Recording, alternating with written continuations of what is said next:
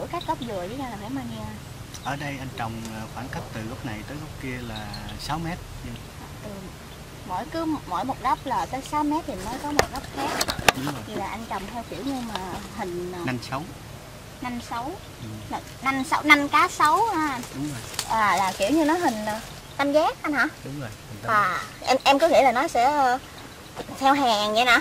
Thì mình ờ, th- theo hàng dọc mình ờ, khi mình trồng thì mình sẽ bố trí một hàng dọc như vậy từ cái này tới cái kia là 6 mét. Còn cái hàng ờ, hàng cách hàng là 6 mét cây cách cây cũng 6 mét. À, dạ. Đó. vậy là cái kiểu trồng đó mình gọi là năm sáu. Dạ. Thì à, thấy khoảng cách 6 mét như vậy thì nó cũng khá là xa đó. Và em cũng thấy ở đây có cây chanh đồ nè. Làm những cái đó là mình trồng xen vô đúng không anh đúng rồi mình trồng ờ, sen canh trong cái thời gian mà chờ vừa thu hoạch á. Thì mình trồng sen các cái loại cây ngắn ngày để mình lấy ờ, cái thu nhập đó lấy ngắn để nuôi dài Dạ, em thấy là có cây chanh nè, với cây mít nữa. Thì tại sao mình lại trồng chọn hai cái giống cây đó mà không phải là những cây khác ha?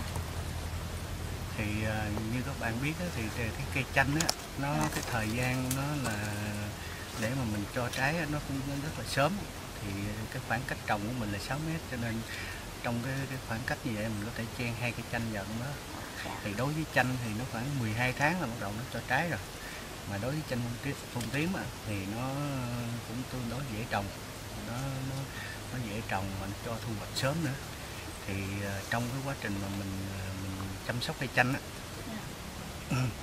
đặc biệt là mình ờ, xịt thuốc bón phân xịt thuốc thì ờ, đồng thời xịt thuốc ờ, chanh thì mình xịt thuốc dừa luôn. Đó thì dừa thì ờ, xịt thuốc chanh xịt thuốc dừa rồi bón bón phân cho dừa bón phân cho chanh nó cùng phát triển luôn. Dạ. nó đồng đồng đồng phát triển như thế. Cho nên cái công á, cái chi phí về nhân công nó cũng giảm xuống.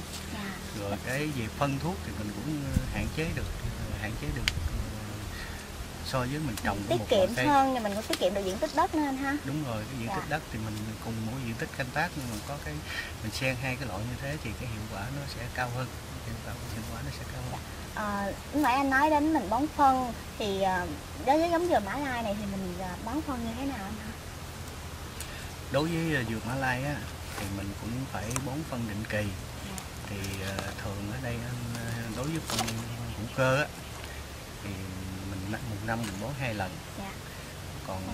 ờ, phân hóa học á mình cũng xen xen bỏ với chanh à, bỏ cùng với chanh á thì cũng khoảng tháng khoảng tháng hơn tháng gì đó mình bón gọn một lần Dạ. để cho Gọn nó, nó nó có cái Bắt gọn dinh dưỡng để nó phát triển bắt gọn vô nó À, mình bón phân thì mình mấy cái dừa đâu ở dưới gốc Dạ, này mình bón dừa. là sao? Bắt cây dừa. nói, nói chung Bắt gọn ta nhưng mà có quả dừa mà đào bỏ với bắt gọn nhưng mà có quả dừa đào hố để người ta bỏ phân vô thì nó nó rất là hiệu quả. Dạ. tuy nhiên mà cái diện tích canh tác mình lớn như thế này á, thì mình không có cái thời gian không có đủ cái nhân công để mà làm như vậy. Dạ. mình tranh thủ những lúc ví dụ trời ờ, giờ mưa nè sắp mưa đó mình gãi trên trên mặt ờ, xung quanh cái tán cây á.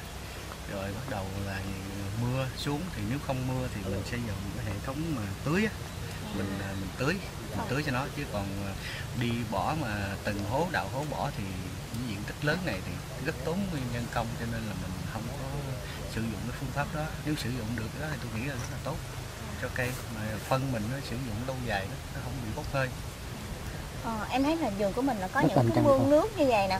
Ờ, thì em có nghĩ là mình trồng dọc theo mương nước thôi nhưng Bắt mà vườn của mình lại có một hệ thống tưới nước luôn hả anh đúng rồi bây giờ à, đối với cái khu này á, mà muốn được trồng cây dừa hoặc là các các cái cây ăn Được. trái như là mít hoặc chanh nó, nó phát triển tốt á thì cái cơ bản đầu tiên là mình phải có cái hệ thống kênh mương cho nó tốt.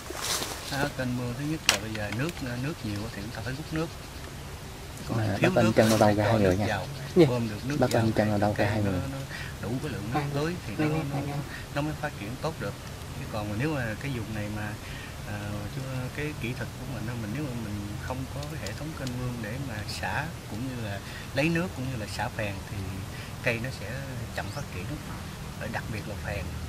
Vấn đề dạ là đúng rồi em thấy ở dưới mương này cái nước cũng có vẻ nhiều phèn anh. Đối với cái việc mà xử lý phèn á, mình khi mình trồng cái này mình cũng rất là quan tâm để ờ, đưa cái độ nước đó về cái mức mà ổn định để cây dễ phát triển đó là khoảng ờ, hiện nay thì cũng khoảng 6 tấn 6 năm vậy. Cái đó nhưng mà cái của mình làm là, là mưa. Thường mình rút hết nước ra. Khi trời mưa xuống là mình đặt cái hệ thống máy bơm của mình á, là bơm tháo hết nước ra để cho cái lượng phèn á. Lượng phèn khi mà ở trên clip như thế này nó sẽ gõ xuống nó gõ xuống mương thì mình sẽ lấy ra ngoài. Mình sẽ lấy ra ngoài. Nó À. như thế thì nó sẽ lẹ hơn là nó lẹ hơn là người ta ở đây chỉ khai nước ra vô thì nó để nó tháo phèn đi thì nó rất là lâu. Mình thì mùa mưa mùa mưa thì mình sẽ không có ờ, không có dùng cái hệ thống tưới. Mà mình chỉ ờ, trời mưa thì bao nhiêu thì mình sẽ bơm bơm ra hết rút nước trở ra để Ừ. cho đẩy đẩy phèn đi. Nó sớm rửa ờ, nó lấy phèn đi để đưa cái cái lượng nước ngọt vào. Ờ, nước này là mình dẫn từ sông vào. Nước thì mình từ sông. Ở đây nó có hai con sông lớn rồi. Ngay miếng đất của mình thì nó ngay cái ngã tư. Nên nó cũng lợi trong mà lấy nước tiêu tiêu Bác anh chắc